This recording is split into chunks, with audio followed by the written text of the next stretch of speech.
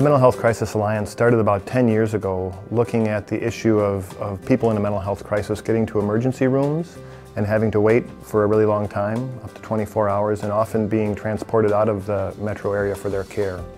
And this group came together and really focused on adding additional community services. As the Mental Health Crisis Alliance evolved, it became clear that they wanted to transform the system of care by adding an urgent care for adult mental health. We offer crisis assessment, which is that very first face-to-face -face when you're in a mental health crisis with someone who can help you decide what to do next. We offer crisis stabilization services, which can be a little bit longer term, a month or so of care to make sure you get back on your feet. And we offer uh, rapid access and gap psychiatric appointments um, to get people into needed psychiatry much quicker than they would otherwise be able to. Our intention is not to supplant or replace the services that you already have in place with the client. Our wish is to work with you together to get the best possible service for the client, the right service at the right time. So last week I saw a woman in the emergency department that um, was feeling depressed, anxious, needed to talk.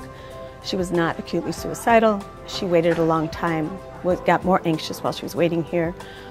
Um, I referred her to urgent care for the next episode that might be similar to that. And she, I got a call yesterday that she did go and was very pleased with the results there. We involve consumers in all of our decision making. And really what the urgent care offers is when you walk in, you'll see somebody right away. There's no long wait. It's a recovery focused, welcoming environment and you'll be able to get the care you need right then um, from people who know mental health and that's their specialty. And I think what really makes us unique um, are the peer support specialists that, that, we have providing services here. Um, peers offer hope for folks in a way that professionals just can't um, by their very presence.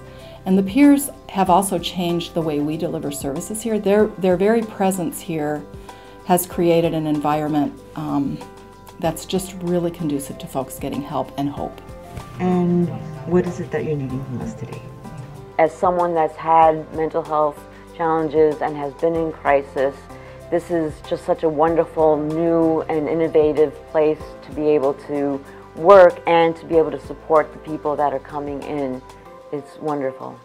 We are working with all of these great partners to change the system. And it isn't coming from federal health care reform, it's not uh, coming from mandates, it's, it's coming from people who genuinely, genuinely would like to improve care for people with mental illness. And that, uh, it's, uh, it feels great. People living with mental illness are not their diagnosis. They are not bipolar or schizophrenic. They have bipolar illness or schizophrenia or depression, just like people with cancer are not cancer. They have cancer. And it's so important that people know that they can and do recover from their mental health challenges.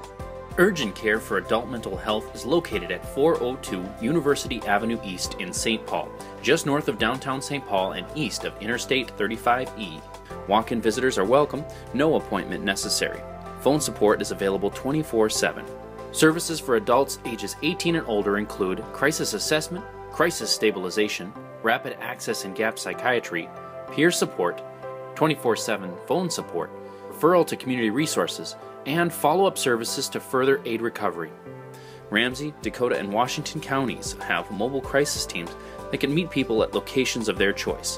Services are offered regardless of ability to pay, but the urgent care will bill insurance providers when available. Urgent care hours and more information is available at mentalhealthcrisisalliance.org or call 651 266 7900.